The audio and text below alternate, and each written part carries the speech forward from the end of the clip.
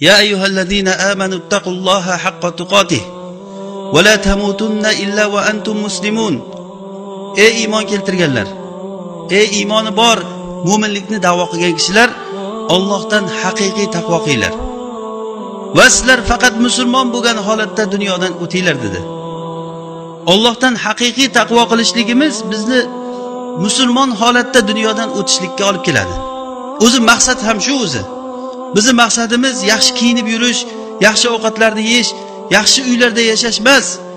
Bu joyda yig'ilishligimizdan maqsadimiz ham qanday qilib turib biz islomimizni iymonimizni saqlab qolamiz qanday qilib allohga mo'min bo'lib yo'liqamiz? Bu topgan narsalar mol mulklar hammasi shu dunyoda qolib ketadi. Yaqin kunda hammamiz allohga yo'liqamiz.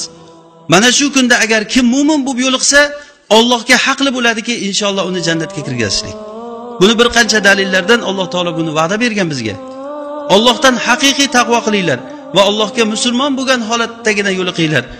Insonni eng asosiy o'zi holati uchta bo'ladi. Tug'ilishlik payti va o'lish payti va qiyomat kuni tirilish payti. Mana shu uchta holatda inson salomat qolishligi eng muhim o'rin. Tug'ilishligimiz bizniki bo'lib o'tdi. Alhamdulillah salomat tug'ildik hammamiz. Tug'ilishlikda salomat bo'ldik. Endi oldimizda o'lish bilan qiyomat kuni tirilish qoldi. Qiyomat kuni tirilishlik shu dunyoda o'lishlikka bog'liq. Kim bir narsani ustida o'lsa o'sha narsa ustida tiriladi.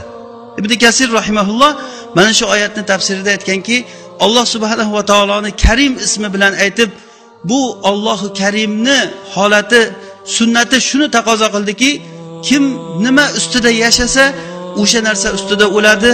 Kim nima narsa ustida o'lsa o'sha narsa ustida tiriladi. Demak qiyomat kuni musulmon bo'lib ollohga tirilishligimiz uchun musulmon bo'lib o'lishligimiz kerak. Musulmon bo'lib o'lishlik uchun musulmon bo'lib yashash kerak. Musulmon bo'lib yashashlik uchun ollohdan haqiqiy taqvo qilishlik kerak.